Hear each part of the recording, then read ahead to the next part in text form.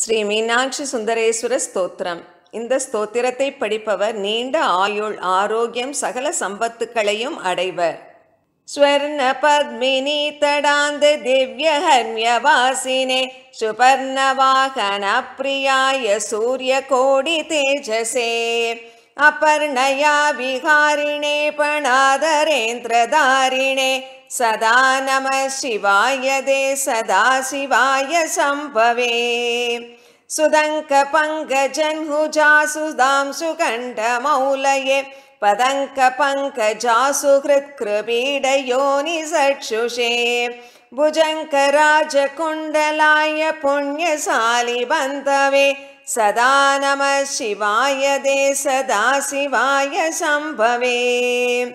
चतुर्मुखाननारविन्दवेदगीतमूर्तये सदुर्भुजानुजा शरीरशोभमानमूर्तये चतुर्विधार्थदानसौण्डताण्डवस्वरूपिणे सदा नमः शिवाय दे सदा शिवाय सम्भवे चरन्निसाहरप्रकाशमन्दहासमञ्जुळा तरप्रबालभासमानवक्त्रमण्डलश्रिये करस्फुरत्कबालमुक्तविष्णुरक्तबायिने सदा नमः शिवाय दे सदा शिवाय सम्भवे सहस्रपुण्डरीकभूजनैकशून्यदर्शना सहस्वनेत्रकल्पिदासनाश्युदाय भक्तिद।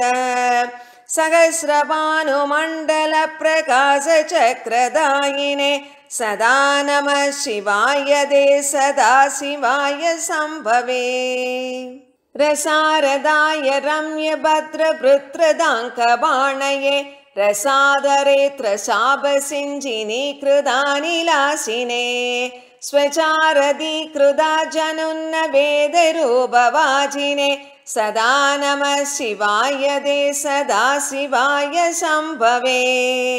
अधिप्रकल्पवीरभद्रसिंहनादगर्जित श्रुतिप्रभीददक्षयाः भोगिनागसत्मना कदिप्रदाय गर्जिदाखिलप्रपञ्चसाक्षिणे सदा नमः शिवाय दे सदा शिवाय सम्भवे मृकण्डसूनुरक्षणावधूततण्डबाणये सुकण्डमण्डलस्फुरत्प्रभाजिदामृदां सवे अखण्डभोगसम्पदत्तिलोकभाविदात्मने सदा नमः शिवाय दे सदा शिवाय सम्भवे।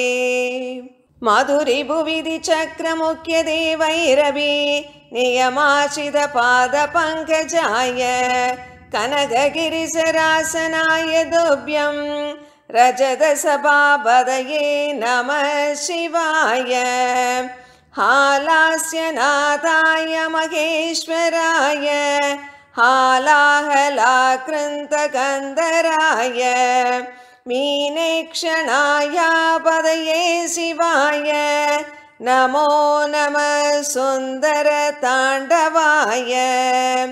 त्वया कृतमिदं स्तोत्रं यपडेन् भक्तिसंयुतः दस्यायुर्दीर्घमारोग्यं सम्पत्त च ददाम्यहम्